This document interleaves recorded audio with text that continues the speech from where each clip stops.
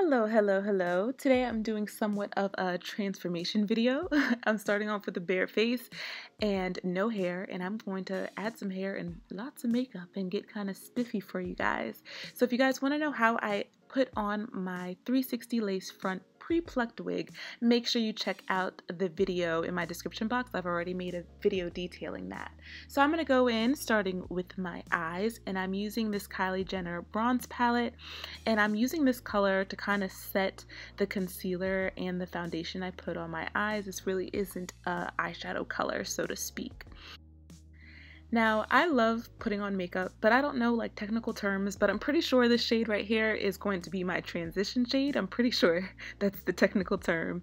And I'm just putting it on the upper part of my eyelid and I'm gonna blend that out on both eyelids. And once that's all smooth and blended in, I'm going to go in with this kind of dark brown color and put that right in my crease. Now I used a fluffier brush for the transition shade. For this one I'm using a skinnier flat brush just so it can be placed right there in the crease, right there in the middle. And I'm going to do that on either sides as well. And now the fun part, we're gonna go in with this Estee Lauder eyeliner gel. It is in the color Stay Onyx, and this is just a nice beautiful smooth eyeliner gel. I absolutely love it.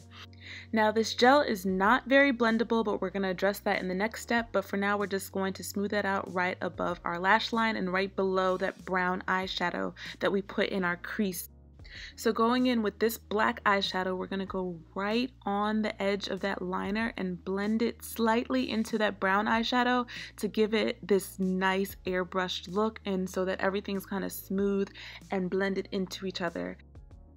And after that, I went back in with the transition shade on the fluffy brush to kind of blend everything out.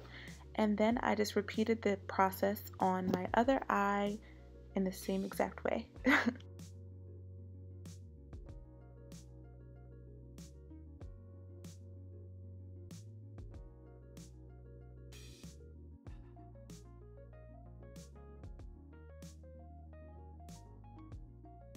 Now this is a smoky eye, so really take your time just blending everything out and making sure it looks smooth and that there are no harsh lines whatsoever. Every color should just gently blend into the next color.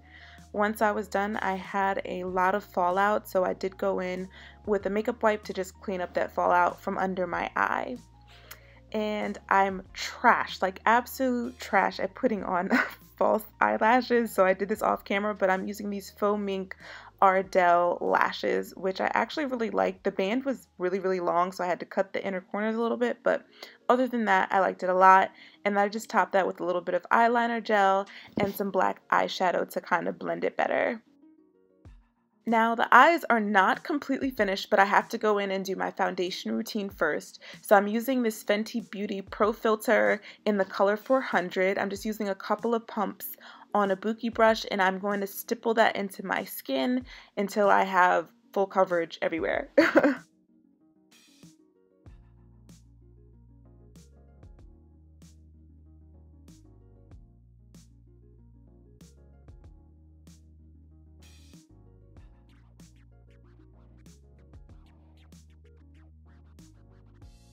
After I got my foundation completely set and in place, I went in with this Fenty Beauty matchstick in the color Suede, and I'm using this as my concealer. Now, the reason why I love this is because it's going to clean up all of that eyeshadow we put in when you make the like straight line. You see that? You see how clean it looks now? Like, you don't need to put tape under your eyes because concealer can clean anything up and give you that straight line that you might be looking for for a particular eyeshadow look. So I'm going to continue to apply this on my chin, on the bridge of my nose, and right there on the center of my forehead. Now once I had the concealer in place, I used that same Bookie brush that I used to apply my foundation to gently feather out the concealer into the foundation so it's like this beautiful seamless look. You see how perfect that is? It's almost as if like the concealer never happened and my skin is just naturally flawless because it gives it this really nice airbrush look. Now I'm going in with the Fenty Beauty Matchstick in the color Espresso and I'm going to use this to first contour right under my cheekbone and then I'm also going to use it um, to contour my nose the temples of my forehead and also right under my jawbone to kind of give me a more sleek, svelte look, you know?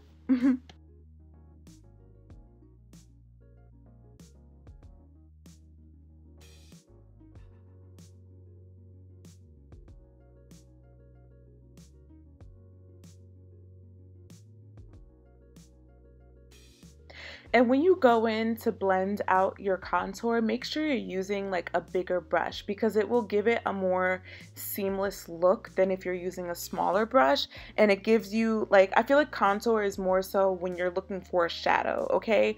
And it's going to kind of define certain angles of your face. And if you're using a bigger brush, it gives it a more I feel like airbrush, I keep coming back to that word, like it gives you a more airbrushed look and it looks more like a gentle shadow as a contour should be. So yeah, definitely think of your contour as like a gentle shadow, like that's barely there, no harsh lines. Just make sure everything is kind of seamless and blending together. Don't be afraid to go back in with some concealer to kind of clean up your contour lines and make sure everything is flawless. Now I'm going in with my True Complexion contour palette in the color medium to dark and I'm using a giant fluffy brush to kind of accentuate and highlight the contour I already put on with the Match Stix and I feel like this further blends everything out so it's super seamless and airbrushed looking. All right, now it's time to get back to these eyes. We got to smoke out under the eye. So I'm using the transition shade I used before right under my waterline. I initially wanted to go right in with black eyeshadow, but there was a whole lot of fallout as you can see, and I couldn't have that messing up my my concealer. So I went in with the black eye gel I previously used, but the line was too harsh, so I knew I had to go back in with this eyeshadow. So I used um, some of that black eyeshadow on the flat small brush I used before, and I blew on it really hard so there wouldn't be fallout again and I used that to kind of blend out the gel and also blend it into that transition shade. So now that the eyeshadow is completely set in place, I'm going to go in with some mascara and I'm using Maybelline's Colossal Big Shot Mascara. And once you get a grip of your lashes in the wand, you're going to want to slowly rotate it to get a whole lot of product on that on those lower lashes so that it gives it a more dramatic effect. I almost forgot to highlight my brow bone, so I'm going in with this bright white kind of shimmery shadow to highlight my brow bone. And then I'm packing on a little bit right in the arch of my eyebrow. And I'm also going to highlight the inner corners of my eyes as well with that same color and everybody's like favorite thing to do nowadays is highlight highlight and highlight some more.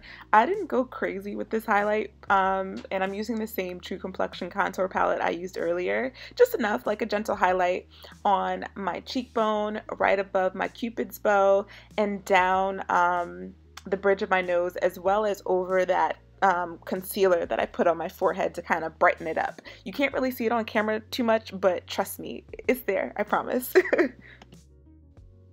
Alright, so now we're going to get into this Fenty Beauty Killawatt Highlighter. I'm using the color Moscow Mule.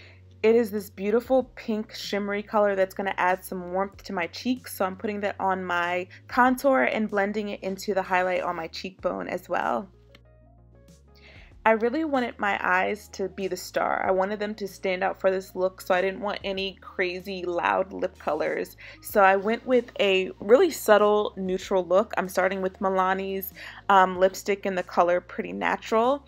And then I'm going to top that with some Fenty Beauty, and I'm using their Gloss Bomb, which is a fantastic lip gloss. So if you don't have it, like if you don't get anything else from Fenty Beauty, I would highly recommend this lip gloss. It smells good and looks great. So of course, once you're done your hard work, you're going to want to set everything in place. And I used NYX Matte Finishing Spray. It's honestly not my favorite. There's one by e.l.f. I believe that I used to use, but I ran out and I got this just to test it out, but it does its job. And the last step is just to let your hair be free and you're done. so I hope you guys enjoyed this tutorial. I made this because so many people asked for, you know, a makeup tutorial. I personally, you know, I'm not a makeup artist as I said, but I do play around in makeup. So I hope you enjoyed this tutorial. Make sure you're subscribed and stay tuned for the next one. Bye.